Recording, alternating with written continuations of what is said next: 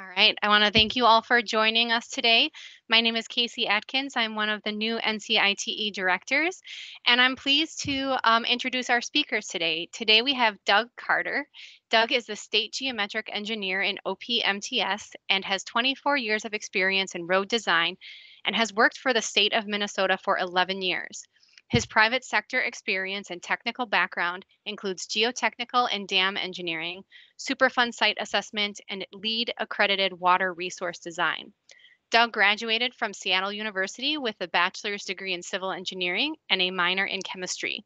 Doug races cyclocross with his two children in his spare time. In addition to Doug, we have Jamal Love. Jamal has worked in the Geometric Design Support Unit in OPMTS for 10 years. During the preceding 11 years, he worked in MnDOT maintenance, design, construction, surveys, and design build. Jamal and his wife are avid cyclists, backpackers, and cross country skiers, and they are currently waiting for city approval to move into their tiny home community. So, with that, I will hand over the, um, the reins to Jamal to share his screen, and we'll get going. Thank you all. I'm well. Actually, it was it's funny. I don't know if any if any of the people that are here were in that picture that you just saw on the screen. The um, it was it was kind of a funny a funny thing. We were in a training class, and like most training classes, it's early in the morning. It's on the first day. No one knows anyone. We're all they all look sleepy and they don't want to talk, and so I, I pointed out to them that that was the case, that they all looked very tired. So I said, well, let's do a little bit of exercise so that we can, um, you know, kind of wake up a little bit before we start. So I told them all, raise your right hand over your head. And I said, okay, wave that arm from side to side. I turned around and raised my camera up and held it up and said, now smile. And I took that picture. And so it's kind of a, a, nice way to, to break the ice. And I've always liked that picture since then for, for that reason. Um, so Doug and I are here today. We, we appreciate the opportunity to come in and speak with you guys, and we're uh, grateful to Casey for in, inviting us inviting us to speak. I think the the way that this um, started was that we we were working with on a project with someone who's involved with NCITE, and we were discussing roundabout capacity in that meeting and they said boy that doesn't seem to be common knowledge. Would you consider coming and presenting on that topic? And so that's what that's what kind of started it was that we agreed for that reason. And then then casey was was good enough to come and um, and help come up with other topics so that we can you know fill the time. Um, i do have a question though. How many people are here?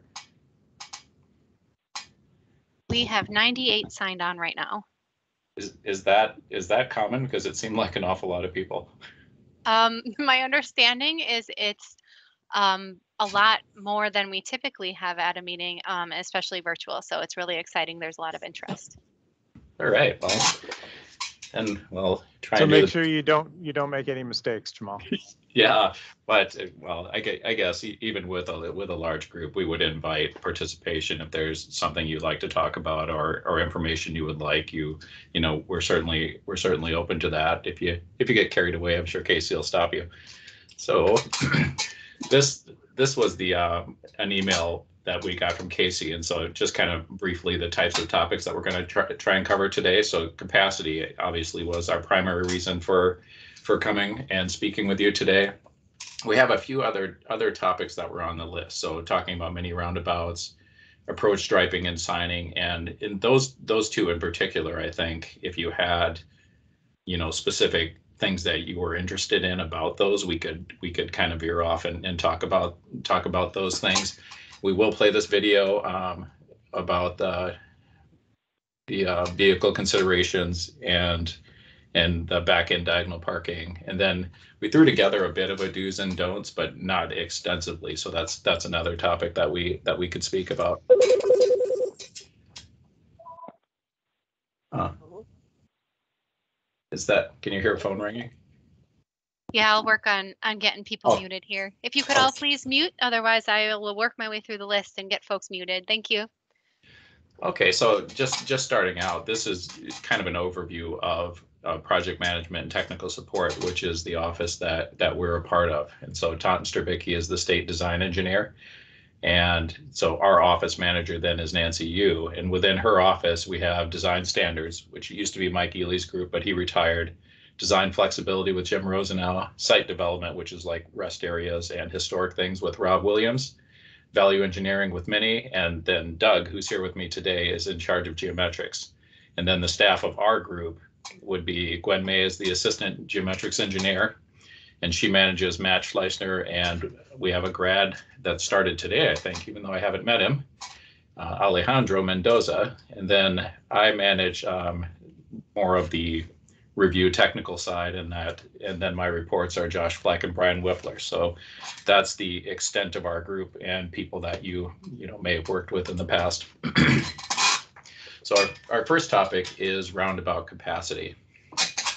And so you know, we were just thinking back in time when early on in the process, what we did is we treated roundabouts like we treat all all projects. And so we looked at our design year 20 years into the future.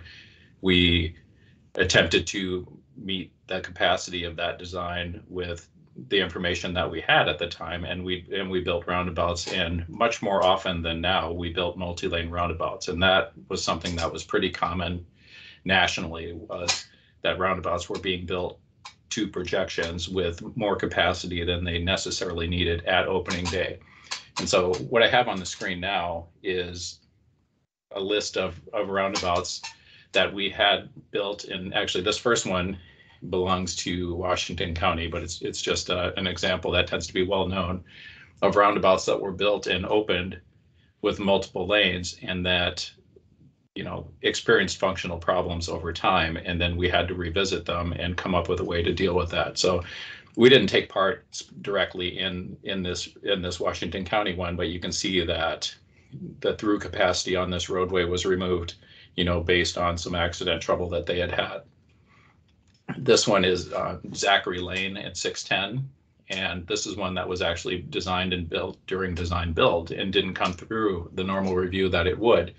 But we had problems in this quadrant with vehicles in the outside lane turning, vehicles in the inside lane not turning. And so we, we went, we looked at the accident patterns we're having and made some adjustment to it to try and deal with that. And for the most part have been successful. This third one is Broadway and 61, and you can see by the striping that capacity was removed in multiple directions. And what we've what we've had is you know, we had accident trouble. We traded off delay in exchange for that accident trouble. And, and these were some of the ways that it was handled. This bottom picture is Kings Point Road, and it is a two lane um, undivided highway. And then when you come to the roundabout, it opens up into an unbalanced two plus one roundabout and then tapers right back to one lane in each direction. And this one, I think the ADT out on this road is around 15,000 on Highway 7 here. And we have a, a, fair amount of traffic, specifically peak hour traffic in this roundabout, but the crashes have been high enough here that the plan is actually to stripe away the second through lane and make this a single lane roundabout again, even though you know the numbers that we see in the peak hour would would tend to call for a multi-lane roundabout. You know, the performance is causing us to accept more delay in exchange for avoiding some of those crashes. In 2017, our um, traffic engineering office did a report on roundabout crashes. And actually, we're kind of coming to a point now where where we'll see a repeat of this of this study. But what you see on the screen now is a comparison of crashes in different types of roundabouts. And what they did is they looked at the sites before the roundabouts were installed, and then they made a comparison to those same sites after the roundabouts were installed. And so system-wide, what they found was that we actually saw a decrease in total crashes you know in large decreases in all in all types of injury crashes but a, a decrease in total crashes in single lane roundabouts in unbalanced roundabouts like two plus ones for example we saw an increase in crashes of almost 44%. You know, system wide, that's what we see. You know, it, you might find a specific case where crashes don't seem to go up, but then we balance that out with with locations where crashes are way up. And in the aggregate, we find that we have more crashes in two plus ones than we would have in the existing condition. And in multi lanes, actually, we have, you know, a pretty significant crash increase. So resulting from this study, MnDOT management then came to us and said, we want to handle roundabouts differently. And so they they gathered a committee and they and they thought it through and a few things came out of that out of that time period. The first thing was a direction to resist additional capacity in roundabouts to the greatest extent practical and reasonable. And so, you know, management actually told us to intentionally reduce the number of lanes that we're seeing in our roundabouts because they did not want to continue seeing the crash patterns and they didn't want to continue seeing the the tendency of us to go out and have to do something to mitigate crashes in our roundabouts. We're looking to expand their use and we don't we don't want them to function poorly. So that was one part of it. And the other part of it was that they said stop designing for 20 years. And what they concluded, you know, based on negotiations was that they they said, okay, start predicting 10 years and use that as your design year to further reduce the amount of capacity that we're seeing in our roundabouts. so because of that type of thinking, we then started to take a little bit of a different approach. And so this is a, a roundabout down on Highway 3 in, in Farmington. And it was designed in, in 07, built in 08, and it was built single lane with the intention that it be expanded to multi-lane. And the predicted year for multi-lane was you know, it was roughly 10 years. I think it was actually less than that, but it, it, it was about 10 years that they were saying we're going to need additional capacity. And in that time period, we would have said as a rule of thumb that roughly 1,000 vehicles in conflict in any one quadrant would be cause for additional capacity. So if you know if you do the math and add these up, you'll find that we're at 1105 down in this southeast quadrant in this roundabout the picture on the left is the current picture of that roundabout. So not only did it not get it expanded in 10 years, we have no intentions, like there's no, there's nothing that would trigger us to do anything here the way it's functioning. And another part of it is that the increase in traffic that was predicted just simply hasn't happened, you know, so we haven't seen all of the traffic that we were predicting and even with the increases that we've had, which which which are exceeding a thousand vehicles in conflict, that's not enough to to cause us to want to expand capacity here.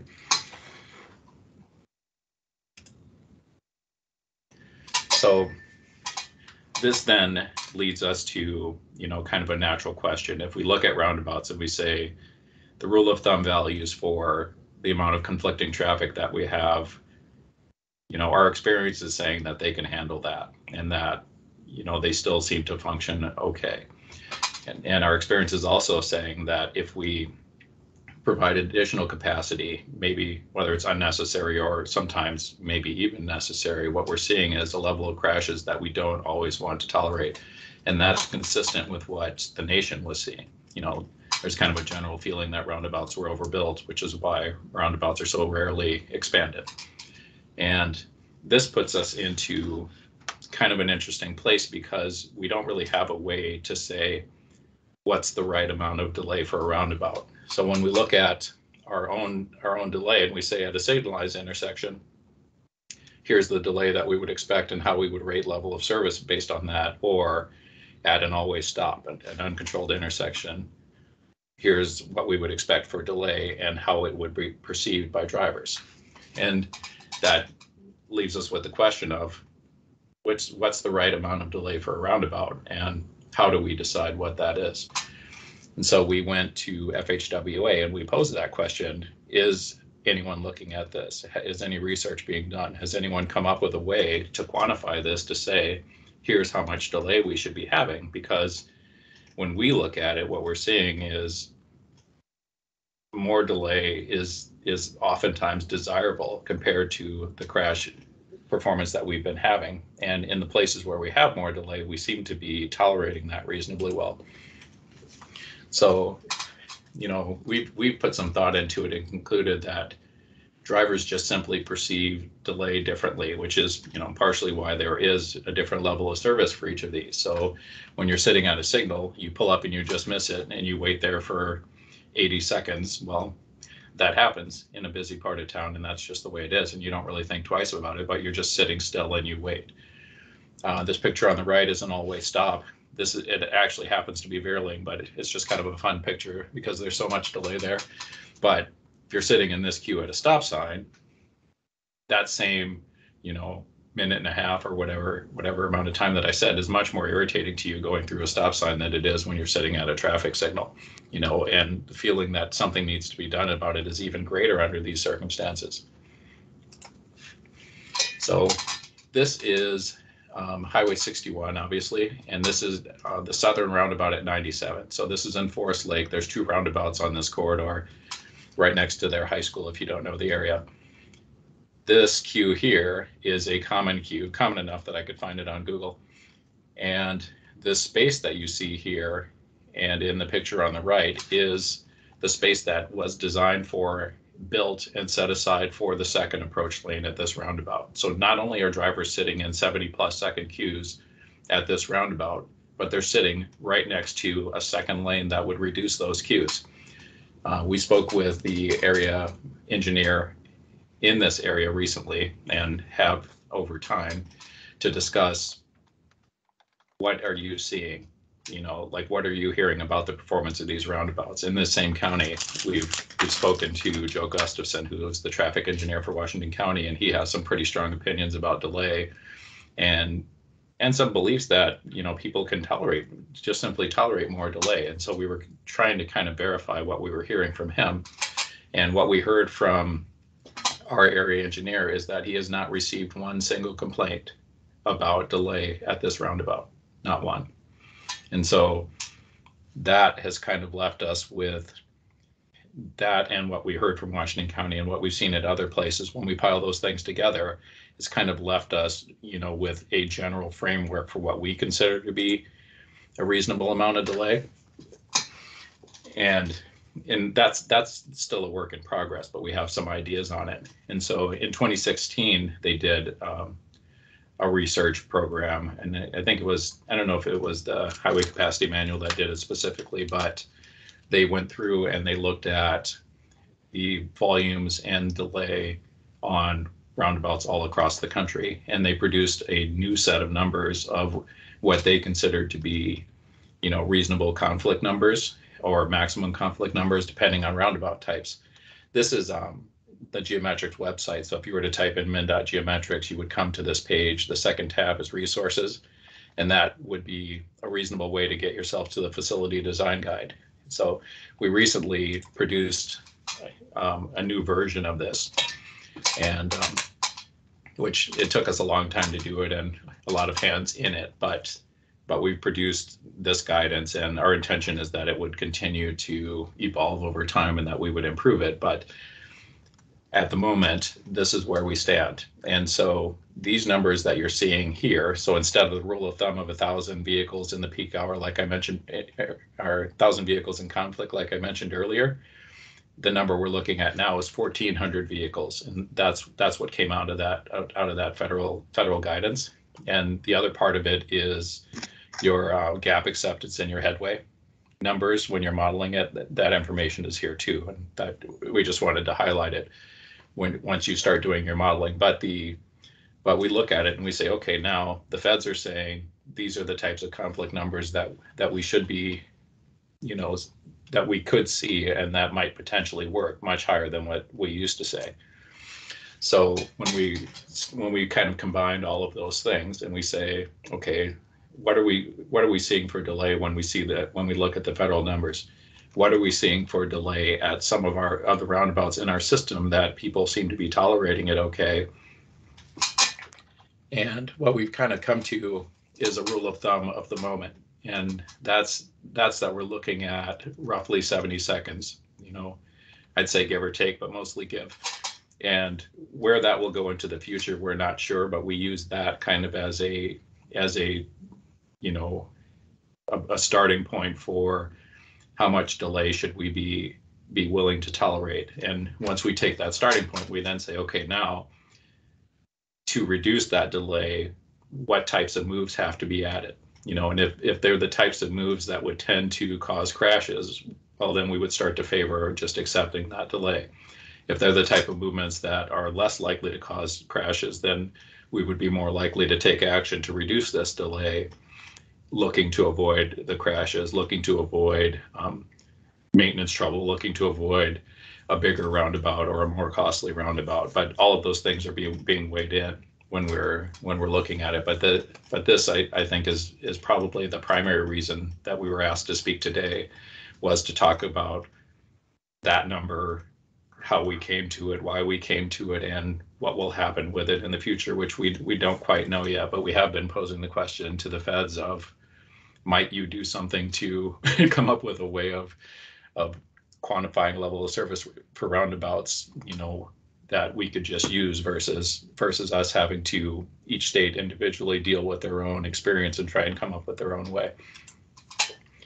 So that is the the first topic, which was roundabout um, capacity, I guess. And so I could pause here if, if someone had a, a comment or question about anything that they've heard so far.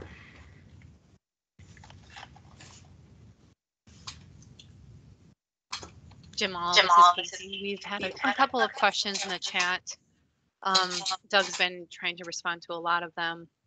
Um, someone had asked, um, apparently there are um, a few single lane roundabouts with conflicts over 1500 vehicles per hour in the system with no complaints. Do you have examples of some of those locations? Of over 1,500 in our system. Yes. Who, who posed that one? I can't see the comments. I Oh, put uh, that one up, Jamal. It's up at, um, it's up at the area where they have We Fest every year, or used to have We Fest every year. Oh, up in Detroit Lakes. Yeah, there you go. Yeah, that Okay. one, they actually did see quite a lot of delay under those circumstances, but but there was a difference in in you know a designer of that specific case might actually be in this room right now, but the I don't I don't remember what the actual conflict numbers were, but but what they had to do before was keep a police officer in the intersection to direct traffic all the time. And you have lots of campers and, and vehicles of that type moving through for that country music festival. And the result of installing that roundabout was the police officer was no longer necessary. They didn't have accident trouble, and they did in fact get the traffic tr- through. You know, the people in under those circumstances were expecting delay. They still got delay, but it worked in a in a way that was tolerable and that the community is happy with. Okay. And then the other question was, if queues are extensive at a roundabout, a rolling queue turns into a standing queue? Uh, there is a point where where it would, but it doesn't it doesn't really work that way. And and the I, I guess the, the thing that that highlights it is we've we've seen pretty long queues, you know, distance wise, pretty long queues.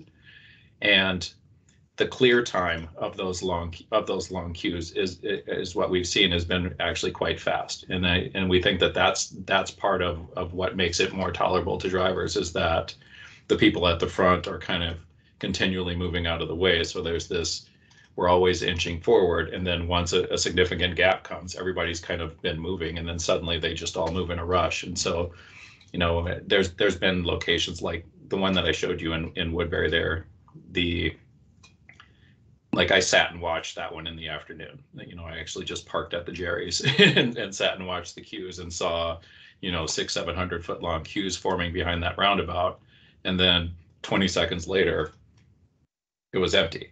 so then then you wait a little bit and the signals change and another rush of traffic comes and it and it starts to pile up again. And then suddenly it, it clears and you're and that's the i think that's the the type of rolling queue that is that is leading to that that type of driver perception and you you see it the same thing up on 97 and 61 i didn't go see it but um i've had a i've had coworkers mention what happens and so on, on one side you've got traffic coming away from highway 35 and that's coming in platoons and it backs up 61 but then the platoon clears and 61 starts to go fast there's a you know the way that that traffic moves is is more tolerable to people than than sitting at a stop sign would be so Great, hopefully thank- that's along the lines of what they were asking Yes, and that's what we've had so far. So if you want to carry on, that should be fine.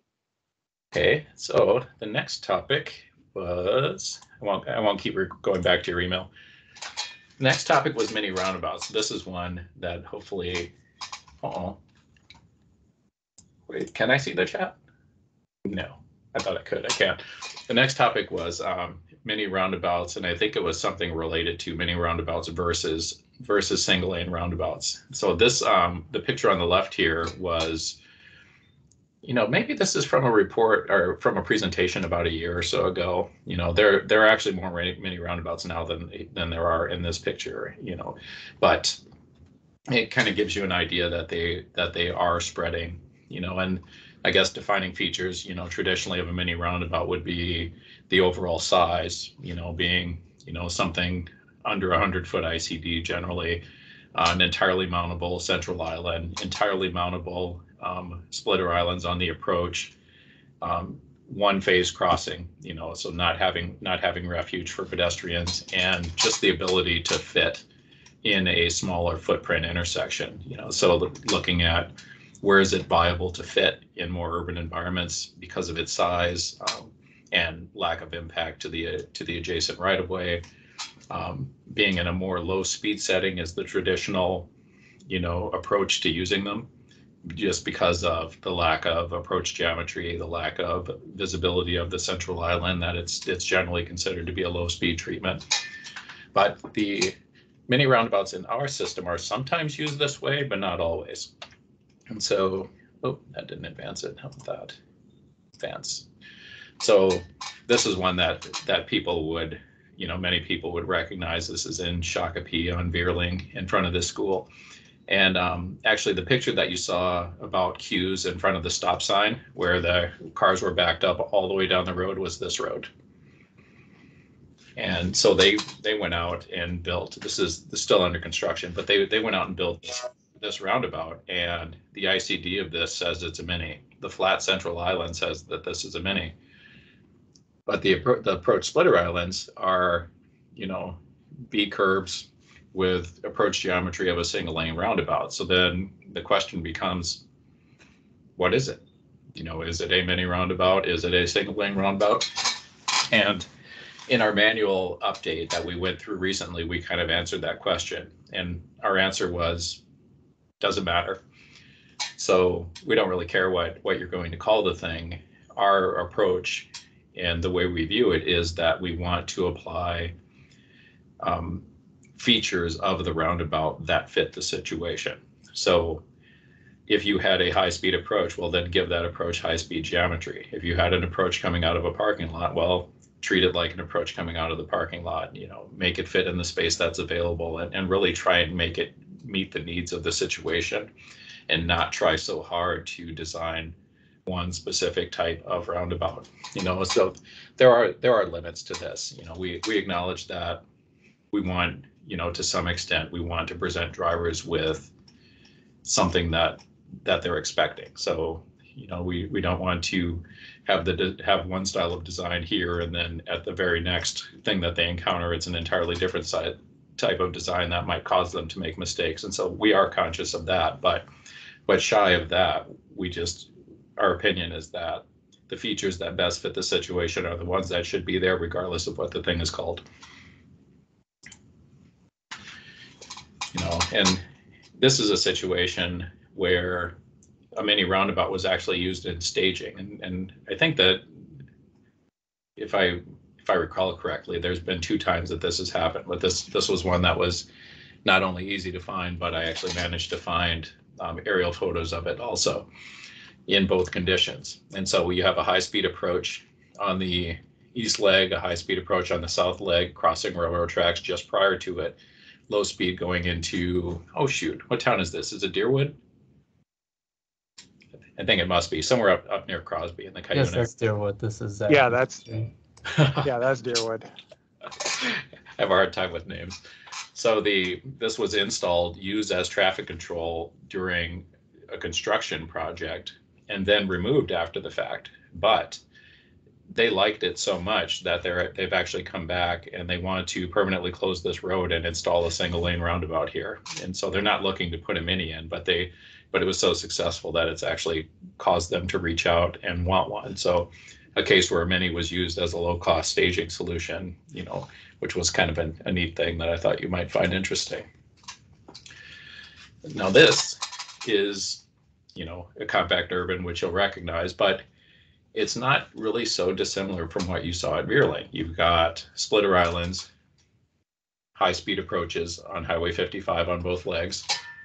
It's sized the same as a single lane roundabout, but the, the entire central island is flattened to accommodate, you know, large vehicle haulers that are in the area and, and turning movements without without making the roundabout a lot larger. This was done a while ago and it is actually kind of large and maybe not entirely like the way that we would do it right at this moment, but another example of a, of a roundabout that it's not really a single lane and it's not really a mini roundabout and it was just the best fit for the for that situation. Then we'll go to our um, our favoriteest and most famous roundabouts, our mini roundabouts, which would be St. James. So a pair of them were put in town, and this is this is what um, was mentioned earlier about a project manager really working with with their, the local partners. 11 foot lanes, nine foot parking were used in town, and the uh, traffic engineer in this district is now a favor of it, a, a, a fan of that because of how well this has worked out. Mini roundabouts, and here's your back end diagonal parking. And I actually, how am I doing for time?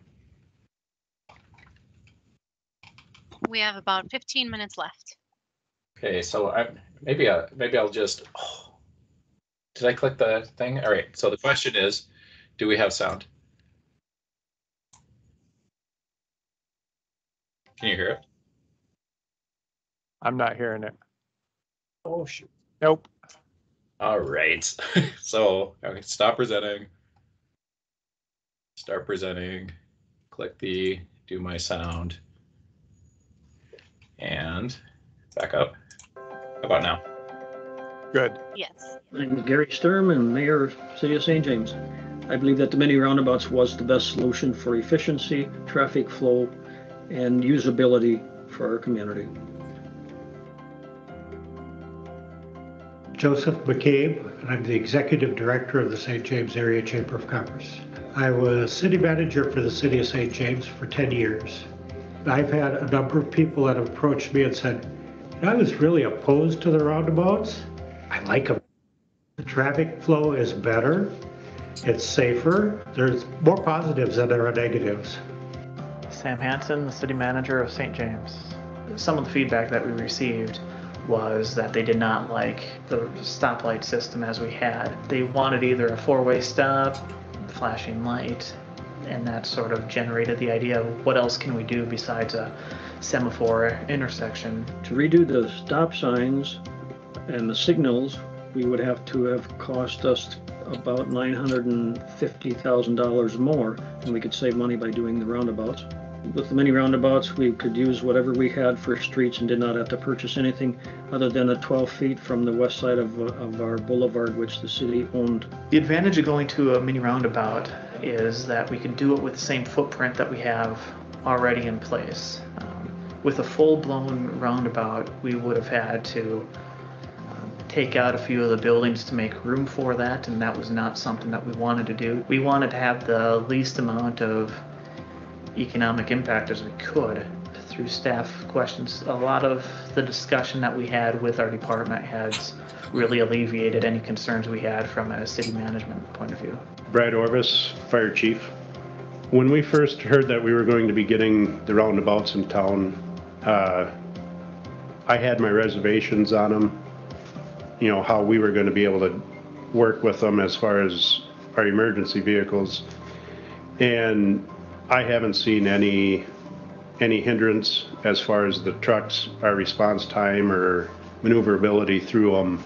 So as far as any trucks not being able to get through, that was a concern when we were going through the whole planning process uh, from comments that we heard from truckers, but that has not shown as far as our traffic patterns.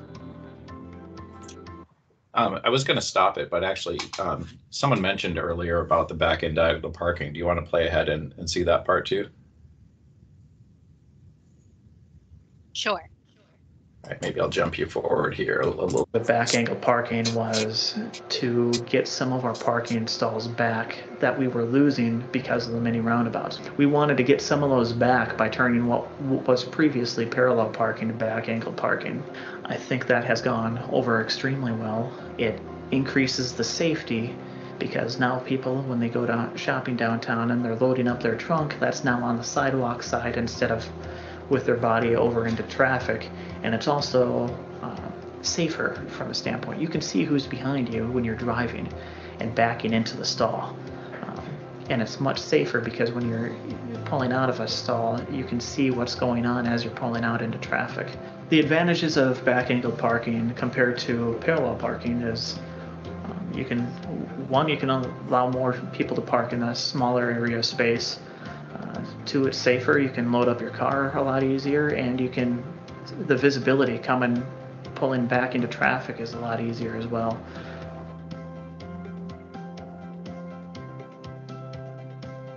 Any other agencies that would, looking at the roundabout alternative, I would uh, have those communities be open-minded and come to our community and see how they actually work. Come to St. James, see what we have, visit with some of the people in town. My advice, if you have any uh, hesitations on them, find communities that have them and just come and check them out. Right. Let's see. I'll get rid of that. And so it, it's um it's kind of an an interesting thing overall, you know. But this, I, I would say that it, it speaks a little bit to to what I was talking about earlier, which is we really want our roundabouts to perform well because we don't want restrictions on where we're allowed to install them based on perceptions about them. You know, and we have other designs where that where that can be problematic. And you know, looking at a video like that, that gives a pretty rave review that the that the locals are very happy with it, that their trucking industry is is happy with the way it's operating for them, that they feel like they they now have you know really no traffic delays anymore compared to what they had before that you know, you'd think that every community around the area would look at that and say, oh, magic bullet, we love it, we totally want it, do that for us. But I wouldn't say that that that has entirely been the case. But you know, oh, oh as time goes on and as, as they continue to spread, maybe maybe we'll see more of it.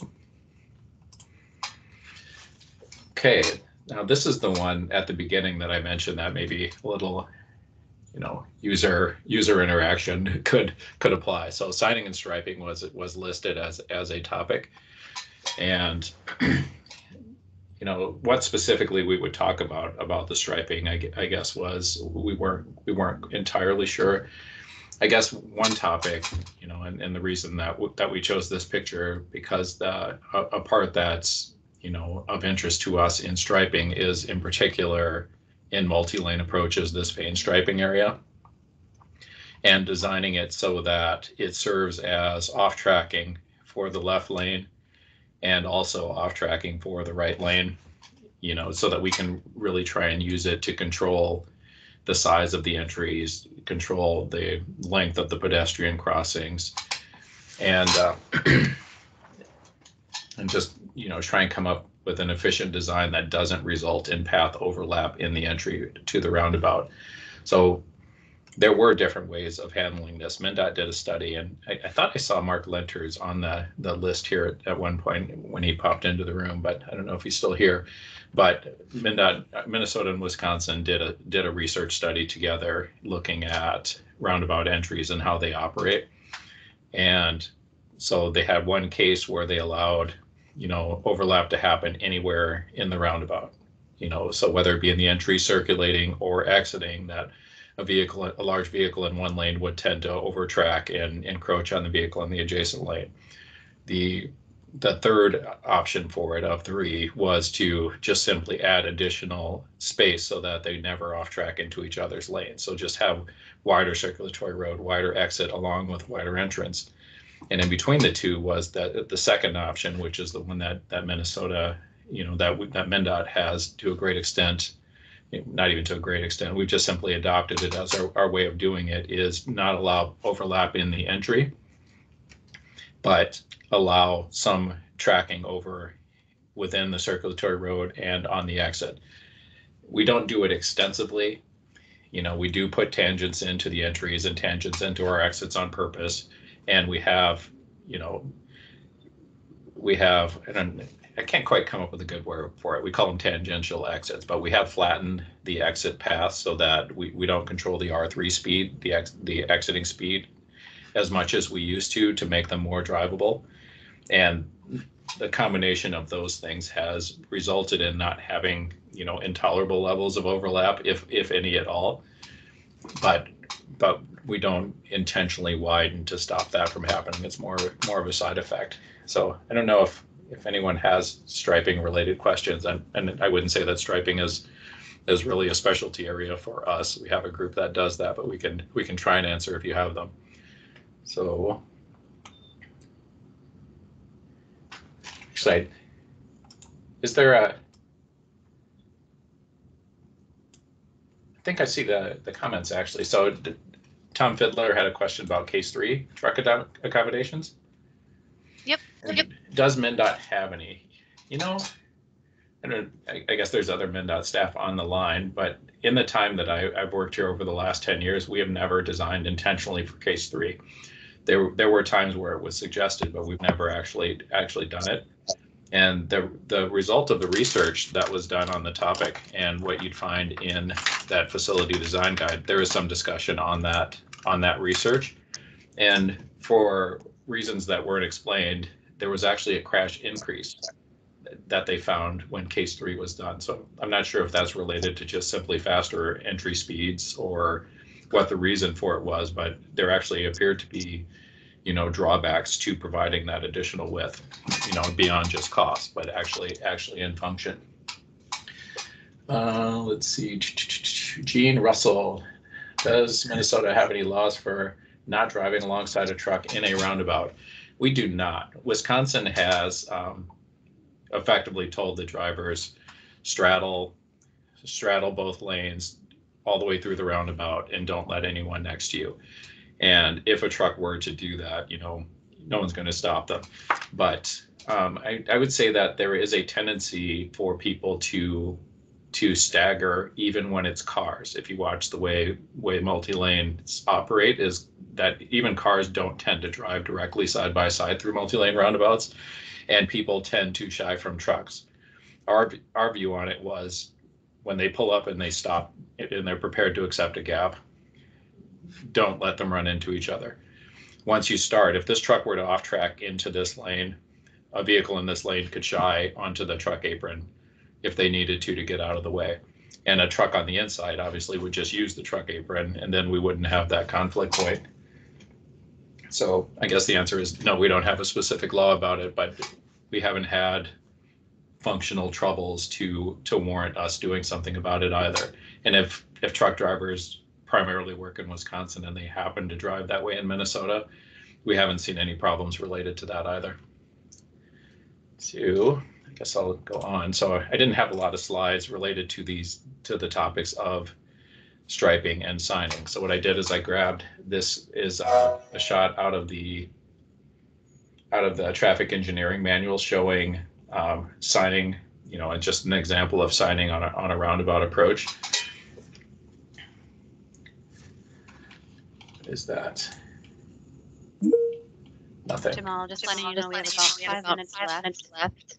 Oh, then you know what? I will skim by this. I guess the only thing I really want to say about this is that in multi-lanes, um, particularly if a lane is going to drop as a turn lane or, or something that would be unexpected, that overhead signing is something that may be called for in the designs. So something to, to be aware of. Um, I'll jump ahead then. Um, you, I, I, I, don't think I entirely followed the, the script, but you talked about roundabout landscaping in, in the questions a little bit. And so we kind of put this under the, the list of don'ts. So do we have specific rules that you're not allowed to put anything in central islands? We don't. but it's something that we we actively discourage. We don't like to put things there that could be hit if there's a high speed approach, particularly. Um, you know, like I can think of a place that has some walls that were not designed that way, but ended up installed that way that we don't, that it wasn't what we were looking for. But in general, we discourage it. Uh, the district traffic engineers actually seem to be flat against it. So it's not something that comes to our office very often because that MnDOT just realistically isn't allowing things to be in this space. But we don't want anything out there that would attract pedestrians, for example you know, this one is, I don't know if people on the call happen to know Alman Ramic. He's a, um, uh, he works in traffic for MnDOT and he's from Bosnia. And so this is his hometown. And this thing lights up at night and cars park in here and people go and stand here and they take pictures and they hang out in this space. We specifically do not want people in our roundabouts. so an example of don't do that. Um, approach geometry. This is Medford.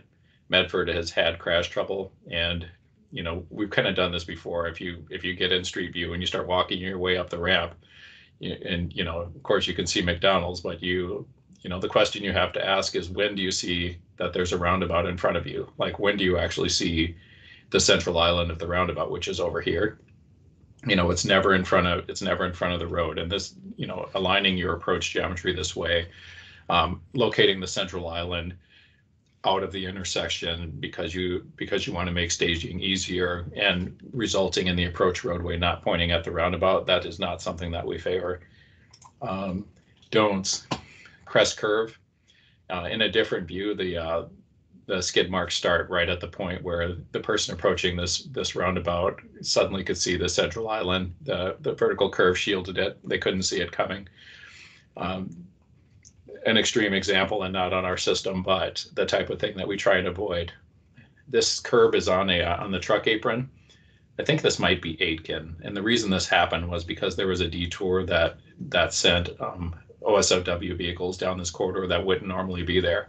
But the point being, you know, identify the vehicles that that would be using your corridor and design for them, eh, you know, to you know avoid this type of thing happening. Like we we don't want to not accommodate a vehicle that uses it and then deal with the maintenance trouble that would come from it. Um, sight distance on approaches. So we want landscaping to limit sight distance in places where drivers don't need it and potentially shouldn't have it. But here's an example of the approaching roadway can't really see traffic approaching on the other roadway. And the minor road has the dominant traffic. So there's more traffic here than there than there are coming off of the highway ramp. These people do not yield to the people that were that are coming off the highway ramp. Or actually, I, I totally reversed it. I'm sorry. They can't see them coming. These people simply cut off the people that are already in the roundabout. I, I totally said it backwards. Um, a project ended up happening, as you can see on the bottom, where where they actually cut this slope back and paved it, so to improve the sight line. It hasn't repaired it to standard, but it but it's improved it. Uh, another don't, and this this goes back to what I was talking about before, and uh, pushing the roundabout out of the intersection for staging, resulting in uh, work off of the approach roadway. You know that this is this is an example where we worked with with the designer and the and the district and came up with you know a design that that we really think was a was a good improvement. But we've seen this in a few cases recently with with designers who take the time to really try out different alternatives and and come up with ways to make the design work even when the approaches are skewed or or there are other things working against them and, and really coming up with designs that kind of fit the situation well and you know reduce the amount of, of approach work and, and overall cost of the project. So this one we thought really turned out well. this one is kind of interesting, and if you if you know whose it is, don't say so. But the it, it just had a couple of features in it that that fall heavily in the don't category. One of them being, you know, putting in a free right that has no no physical separation from the from the the through traffic. This is a this this would qualify in our opinion as failure. Like like specifically don't do this. A yielding right, single lane, introduce the second lane, or physically separate it all the way around the corner. Either of those things we would do. This we would never do. This was a, an interesting one in that if you if you did the path of the vehicle entering and where they would drive, the through movement, they actually pinch the space that's available for the turning movement. So this this was another thing that fell on the don't list. I don't know if anyone's asking questions. I'm, I'm racing along now. Yeah, just Yeah, uh, just, interrupt um, for a second. for a Those of you second. who are of able you to who are hang able to on, hang please on, do please so. do those so. who have Those to who hop have to off, hop off we'll actually be will posting actually be these posting to the video to video to YouTube. So don't so feel like you're don't missing like out on on a lot. You can always go back and take a look at questions asked. Yeah. Did you want to cover this one, Doug?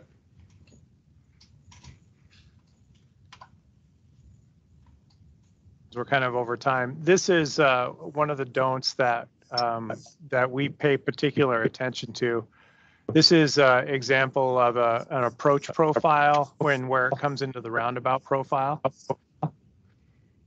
And you can see uh, they they label the tie-in at the roundabout and they give you an elevation. And they label, label the tie-in at the circulatory road and give you an elevation. But you notice there's a there's a bust there and this is more you know just think things through and be very cognizant of what you're submitting to us.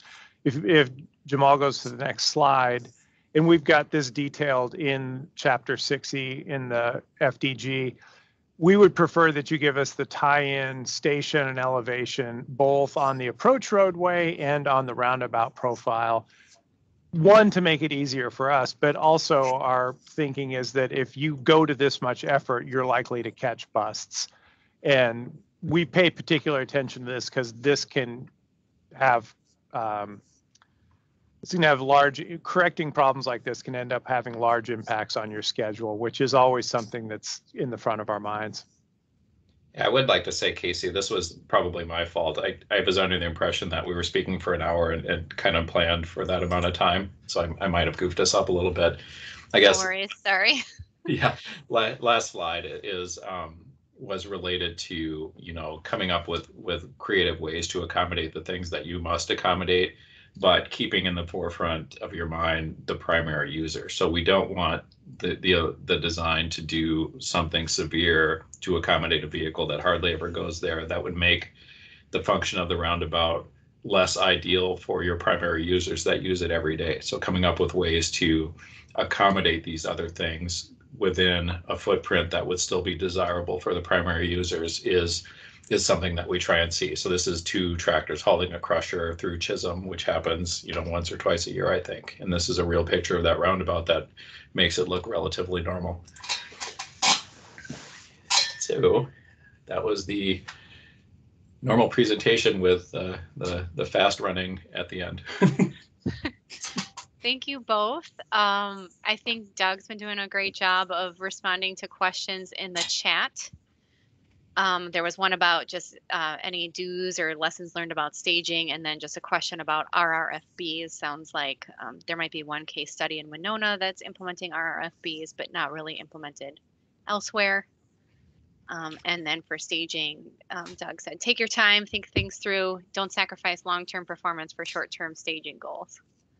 Yeah, the uh, yes, it's the you know making permanent changes to solve temporary problems. We're we're not always the biggest fan of when it can be avoided. And RFBs, there was a time where it, it was kind of a don't do that, and now we do see that as a recommendation whenever peds are going to be crossing multiple lanes. That that we are receiving that that uh, as a comment lately. and Okay. whether or not we whether or not RFBs end up in as solutions is would really be led by the bike and ped group. We have a member of bike and ped on our roundabout review team. We will we always um, defer to them for the for uh, for elements that are strictly not geometric. Um, so if that if you start to see that, it's because it was brought on by bike and ped and not necessarily by us in geometrics, but we are we kind of were we're their voice. People tend to listen to us more than they listen to bike and ped, sadly. All right. Well, I want to thank Jamal and Doug both for pulling up together this great presentation today and also for their time in, in providing us the presentation. Um, as mentioned, we will be posting this to our YouTube channel, so keep an eye out for that. And thank you all for attending today. We look forward to seeing you at future virtual and hopefully in person events someday. Thank, you, you both. Great job.